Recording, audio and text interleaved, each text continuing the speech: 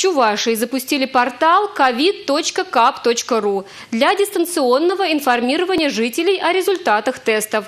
Новый сервис работает на базе Республиканской медицинской информационной системы. Это поможет пациентам быстрее получить медпомощь и снимет с врачей дополнительную нагрузку. Тестирование на новую коронавирусную инфекцию в Чувашии можно пройти в 11 лабораториях. За время пандемии сделано 378 тысяч анализов методом ПЦР-диагностики. Если раньше пациентам приходилось ждать своих результатов несколько дней, то с осени этого года это время ожидания сократилось до 48 часов. Последнее новшество – результаты можно узнать через интернет. Все, что для этого нужно – иметь направление на руках. Это направление у нас, скажем так, сразу в виде заявки попадает в лабораторную информационную систему именно той медицинской организации, которой прикреплена эта медицинская организация. Ну, так называемая ковидная лаборатория. То есть э, ковидная лаборатория сразу видит, какие пациенты, э, на каких э, пациентов должны в скором времени поступить биологический материал.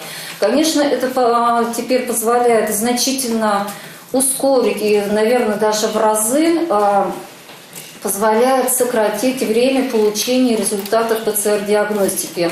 И для нас это было очень важно, чтобы из э, лабораторной информационной системы, как только будет готов результат, лаборант тоже вносит уже результат, уже не в том объеме набивает эту информацию, а буквально несколько э, полей, скажем так, набивает в электронной медицинской карте, и эта информация сразу становится доступной той медицинской организации, а, тому врачу, который оформил направление на ПЦР-диагностику.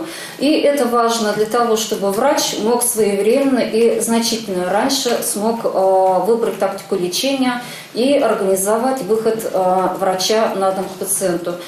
В этот же момент автоматически результаты ПЦР-диагностики поступают и на портал covid.kap.ru. Пациент набирает на сайте номер направления, вбивает дату своего рождения и получает результат. Есть и другие способы. Отсканировать QR-код, он тоже указан в направлении, получить по электронке, либо зайти в личный кабинет на портале госуслуг. Татьяна Трофимова, Алексей Зотиков, Александр Атиков, Республика.